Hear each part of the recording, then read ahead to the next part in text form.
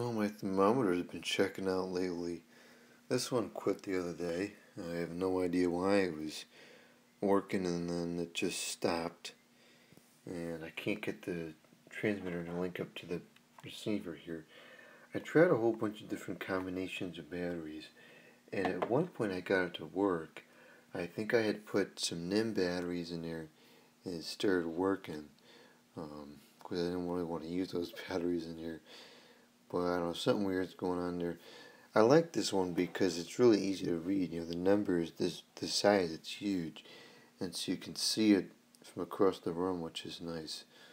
Um, I don't know what's going on with it.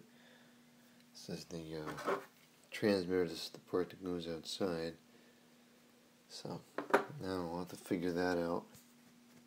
And the thermometer here in the bathroom isn't working too well either. I don't think displaying much of anything. It's kind of showing something if you look at it on a real good angle. Um, but straight on it doesn't work. So I think the battery is just going bad. This is the last one that still works, which is okay because this one, you know, is nice and has a lot of information. But I do like the other wireless one because it's easier to read. So if I can't get that thing fixed, I may have to see if I can find another one somewhere.